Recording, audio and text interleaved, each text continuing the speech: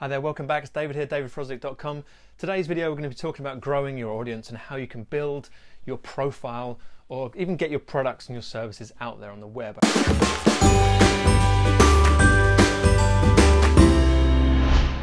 Some of you will probably have a great idea, a new idea. You've even maybe completed a product. You just don't know how to get that moving and get some sales going. Um, but some of you will probably have a great idea. You've set it in your head. You know what you're going to do, and you're going to start working on your your new business idea or your new model.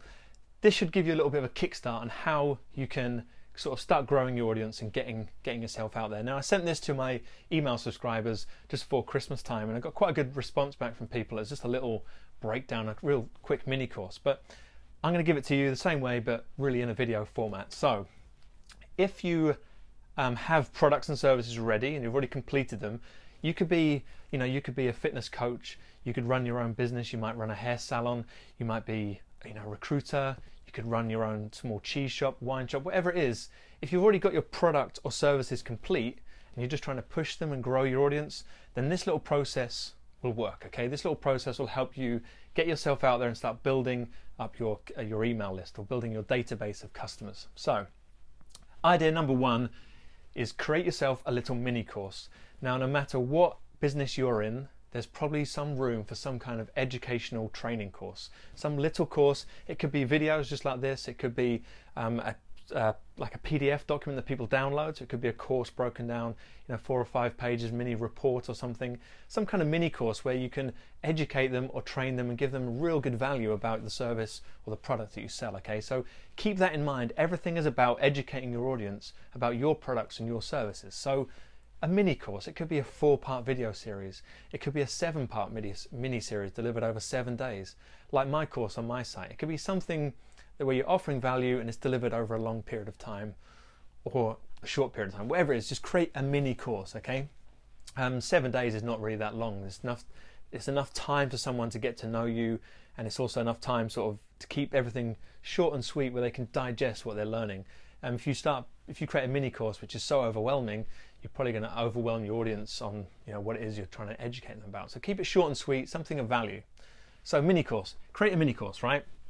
Once you've got the mini course, you're going to need a squeeze page. So by squeeze page, what we need, what we mean is a an area where people can put their name and email address on the website to get it, to get access to your mini course. Okay, so you need a squeeze page set up, some kind of website, basically where someone puts in their name and email. Okay, so the reason we do this is because it builds your email list. Okay, this is going to be one of your best marketing tools for telling people about your products and services that you've already got complete and you want to sell. Okay.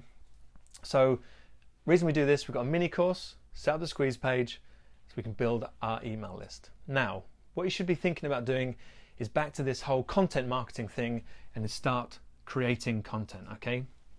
Start creating good, valuable content which you can put out and email your customers about. So, excuse me, even let's say customers, probably prospects initially. So, if you create good content and it can be anything blog posts videos you know training how to articles. Once you post some good content on the web you can send them an email now because you've already collected their email okay? So you can tell them about the new stuff that you're putting out there. And if they're you know if they're the right if you're targeting the right people they'll want to know about the new content you're putting out there okay? So you create content and that can be you know podcasts it can be powerpoint presentations recording the computer screen anything like that. Just some good valuable content and get it out there consistently Okay, so once you've created that content, obviously you've got to publish it. So you pick your platform. Now, whether you're going to publish it on your own website or you're going to put it onto a social media fan page, you know, pick a platform to start with where you just start getting that content out there. Um, obviously, having your own website, you have more control over it. You know, if these social uh, media sites close down and you've been putting content on there and you've got no way of getting it back, um, having your own website is a bit more control. Okay, so either way, just pick a platform and start putting that content out there that you start creating. Um, next thing is I've put a starter funnel, which I mean by that is start some kind of sales funnel. Okay, so um, if you hear this word quite a lot, sales funnel, you'll hear it in marketing, especially in the IM industry.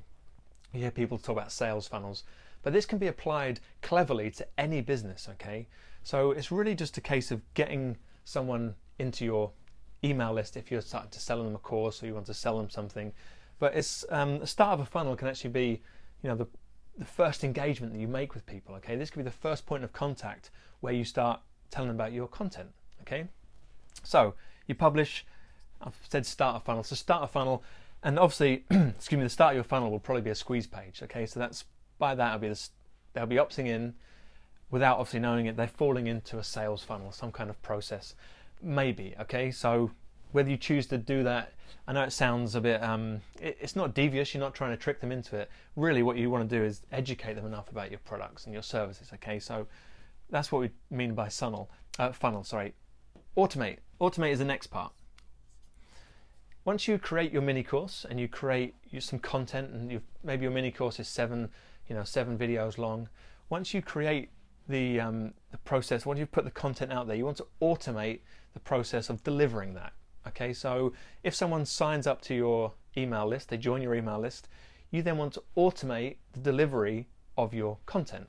Okay, and that this can go on for a much much longer time. There's people who will have automated follow-up emails that just go on and on, and based on particular actions that someone takes in the email, they'll move them around different sequences. Okay, so it's getting quite technical, but you can have email platforms that have multi multiple sequences based on different agendas or different actions that a user takes. Now you might not know this, but sometimes if you get a marketing email from you know a big fashion company, you're making particular clicks on your email. You might be clicking on something you know which they've said, and you go to the website and see it.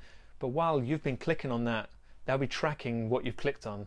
You've just gone to the website to see what it was. But if they're doing it cleverly, they'll be tracking that click to find out what you're doing and where you're going, and then they may even be putting you into another marketing sequence. Okay, so that's where it comes quite clever when you start automating this process, okay? Now, next, I've put repeat. By repeat, I mean, let's take that off there. Repeat, great content. Keep producing great content every week, day, however often you put it out there. I would recommend getting something out there every week, even getting in touch with the audience maybe twice a week and just educating them again, telling them about the new stuff you're doing and what you're working on or the content you're putting out there. So make sure you repeat this whole content creation process. This is going to be the hardest part of, you know, putting out content and growing your audience and growing your business. And if you do this right and you put out great content, you'll hopefully be targeting the correct people who'll be coming back and finding and learning about your products and your services, which you've already completed. Okay. Um, one way you can quickly, quickly speed up the whole process of building and growing your audience is by getting traffic. Okay, now if you have an internet business, that is one word you're going to hear of and probably drive you mad. And it's such a big topic, but it's you know it's overmissed by people. They don't they don't focus enough time on that. Obviously, one real way to speed up this whole process is running some ads online. And with them ads, you would just send them directly to that squeeze page. One thing I would say is if you're going to go and spend ads, you want to make sure you're really targeting your audience, okay? Don't just go and run an advert on Facebook or Google. And if, if it's just a squeeze page, if you're sending ads directly to a squeeze page, go onto Facebook and do that, okay? But don't just go and start an ad and just send it out and set your budget for 10, 10 bucks a day or whatever. You want to make sure you're targeting your audience. You want to know who your audience is before you start running some ads. Um, but this is a real good way, ads, a real good way to start traffic, okay? So that's really the video based off the email that I sent my subscribers. If you follow this little process and you get some good automation in place, once you start putting traffic and you're pouring the traffic into your squeeze page or even into your sales funnel, the automation process of delivering your mini course and delivering more content will help you build and grow your audience. Now, whether they're coming onto your fan page or they're going onto your email list, Personally, I would say get onto your email list because you can have more direct, you know, interaction. You can email them straight away and say, "There's a new article posted on my blog. Go and watch it," or whatever. There's a new video on my YouTube channel. Go and see it.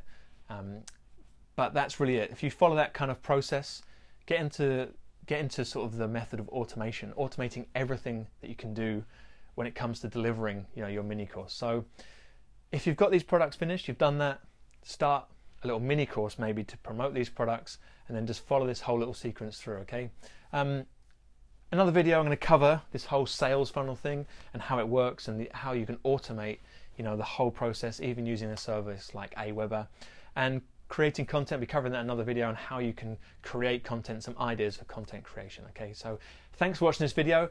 David here from davidfrosdick.com. Make sure you come over to my blog, subscribe to my email list there or subscribe to this YouTube channel if you want to get more updates and when I put out new videos. Thanks again for watching.